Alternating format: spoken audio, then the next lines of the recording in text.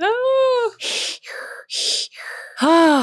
okay. Was Ed Gein really a serial killer or just America's most disturbed funeral director without a license? You've heard the stories the lampshade made of skin, the belt made of nipples, the farmhouse of horrors. But here's the twist most people miss Ed Gein wasn't actually a serial killer. He killed two people, Mary Hogan and Bernice Worden, and yet he became one of the most infamous murderers in American history. Why? Because of what he did after they died. And as a funeral director, that's exactly why I wanted to cover this story. Because when I first heard about Ed Gein, it wasn't the gore that caught my attention, it was the smell. Police reports describing a sweet, heavy chemical odor. Or order, odor, the odor. Oh, Minnesota accent here. Police reports describing a sweet, heavy chemical odor instantly made my mortician brain light up. Ding, ding, ding. I know that smell. It's the same chemical signature I work with every day. Formaldehyde. Formaldehyde. Formaldehyde. Except he was using it wrong. Very wrong. So this video isn't just another true crime retelling. It's the death care breakdown of a man who tried to play embalmer, failed miserably, and turned his home into a science experiment gone horribly wrong. I'm Lauren the Mortician, and today we're digging up, literally and figuratively, the morbid truth behind the man who blurred the line between mourner and monster. Cue the intro.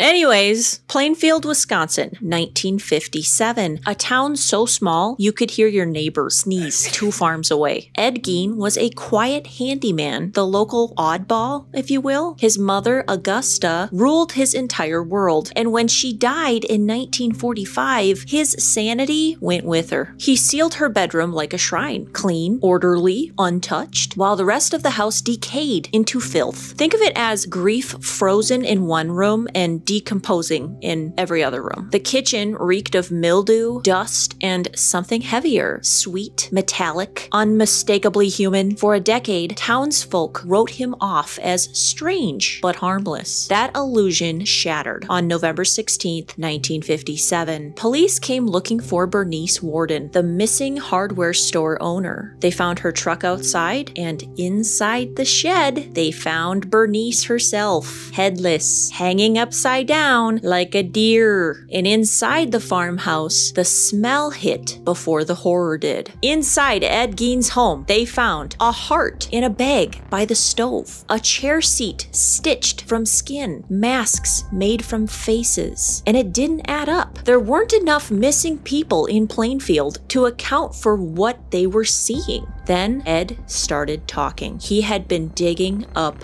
bodies. For years, he prowled the cemeteries around Plainfield with a lantern and a shovel, targeting fresh graves of women who looked like his mother. Mommy issues. People imagine grave robbing like a Halloween gig. A few shovel swipes and you're there. Reality, it's six feet of compacted clay and frozen earth. Wisconsin winters turn soil into cement. Breaking through that is hours of work by lantern light alone. Don't ask me how I know, but I do. And if you've ever watched Supernatural, you know, Sam and Dean Winchester make digging up graves look way too easy. In real life, by the time you've hit that coffin lid, you've earned yourself a hernia and a lifelong back problem. Ed dragged bodies out, sometimes whole, sometimes in pieces, faces, organs, skin. He told investigators he'd sometimes wake up in a trance, surrounded by what he thought was his mother. As a funeral director, I'll say this the dead don't scare us, the living do. And Ed Gein proved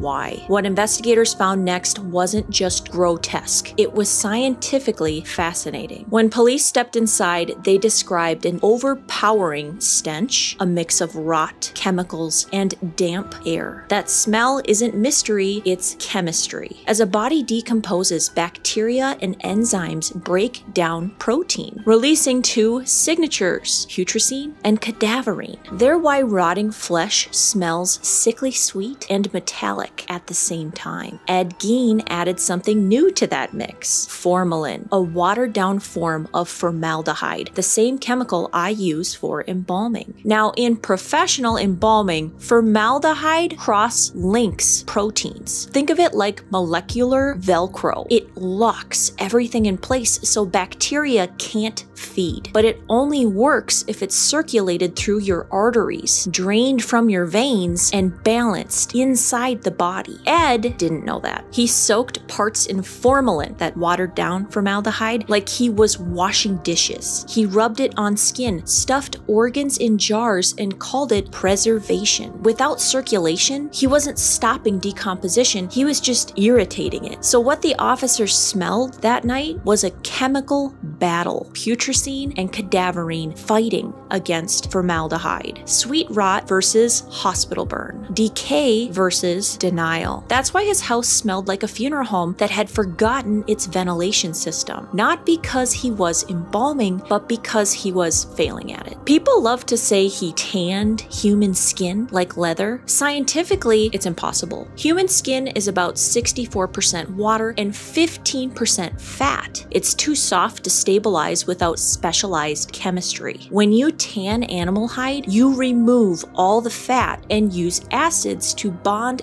collagen fibers. Try that with human tissue and you get gelatin, human jello. Ed scraped, soaked, and salted his materials. All he did was create a temporary pause in decay, skin that dried hard, cracked, and leaked oil as bacteria kept working under the surface. Those lampshades and chair covers weren't crafts, they were slowly rotting science experiments. Experts say they would have fallen apart within months. In the embalming room, we preserve from the inside out. Gein worked from the outside in and failed miserably. He failed miserably! He was trying to play God with a bottle of formalin and a kitchen knife. He wasn't collecting skin for fun. I know, right? He was trying to rebuild his mother. Remember those mommy issues I mentioned earlier? They come into play right here. Augusta Gein was devout, controlling, and his only real connection to the world. And when she died, he lost his anchor. He shut her bedroom and let everything else rot in the house. He picked women who resembled her, dug them up in the cemetery, and stitched pieces together trying to make her whole again. He told investigators he wanted to crawl inside her skin. Eeh. That's not about horror. That's about pathological grief. In mortuary mortuary science, we talk about the importance of rituals, the viewing, the farewell, the moment that tells your brain this is real. Ed never got that. He tried to embalm his grief instead of feeling it. Funerals give closure. Ed Gein built his own out of corpses. After his arrest, cemeteries installed locks and floodlights, funeral homes tightened security and documentation, families began choosing steel vaults, you know, that concrete box that the casket goes inside of at the cemetery. They used to use wooden ones. Now they really wanted to choose steel or big concrete